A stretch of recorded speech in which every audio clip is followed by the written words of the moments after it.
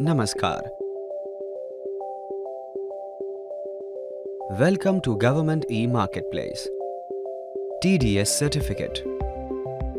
This presentation shows the steps about how a seller can upload the TDS certificate for the orders they have received through GEM.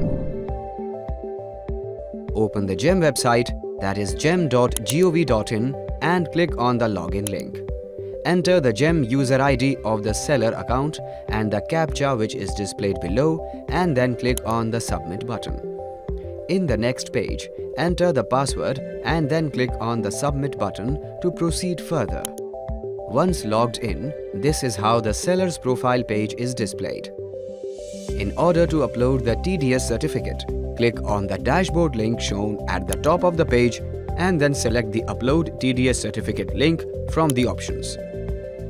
The seller has to select the financial year and the quartet from the respective drop-downs available for which the TDS certificate needs to be uploaded.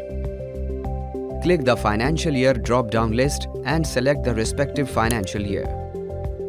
Click the quarter drop-down list and select the respective quarter of the year. After selecting the financial year and quarter from the respective drop-downs, click on the search button to view all the contracts generated during the selected time period, for which TDS certificate needs to be uploaded.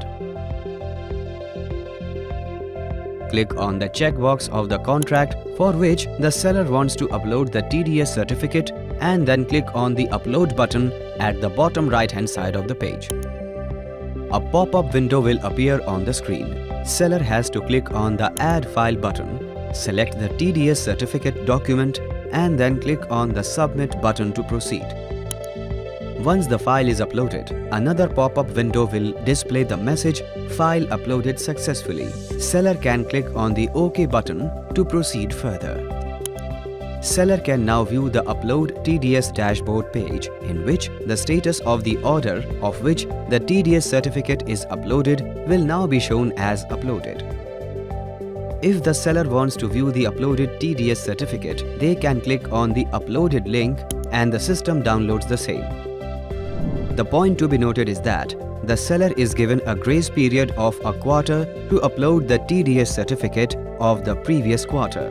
If the seller has not uploaded the TDS certificate of all the orders of the previous quarter, then they will be blocked by the system from accepting the orders from the next quarter onwards until it is cleared.